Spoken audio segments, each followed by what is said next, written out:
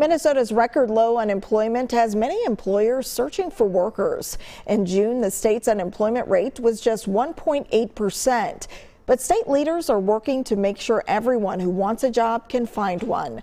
Our Pauline Lee is live in Eagan with how leaders are highlighting those with disabilities as an untapped resource. Pauline.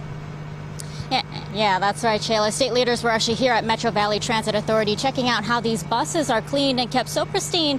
That's thanks in part to the help of, of those with disabilities. Now, even though Minnesota recorded among the lowest unemployment rates across the country, state leaders say there is still a worker shortage among certain sectors, and those with disabilities have a lot to offer to help close that gap. Now, this is a unique partnership between MVTA and the Vocation and Rehabilitation Services. Schmitty and Sons, that's a local family owned and operated bus company, as well as the Great Work Program. It's a nonprofit that helps pair local employers with students with disabilities. Uh, these students are just about ready to graduate high school or they're recent grads, and they're trained on how to do this detailing work, and then they work 40 hours a week during the summer, and they get paid $16 an hour for their hard work. This, in turn, gives them a lot of life skills and potentially a pathway to their future careers.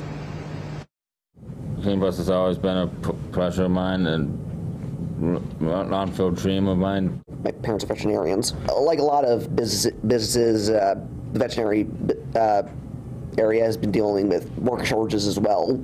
So basically, uh, I, I, would just be able to do all the janitor work, so um, his employee, other employees can focus on more pressing matters.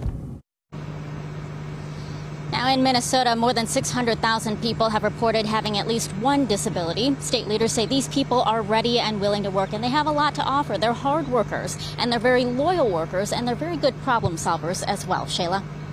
It is an opportunity. Thank you so much, Pauline.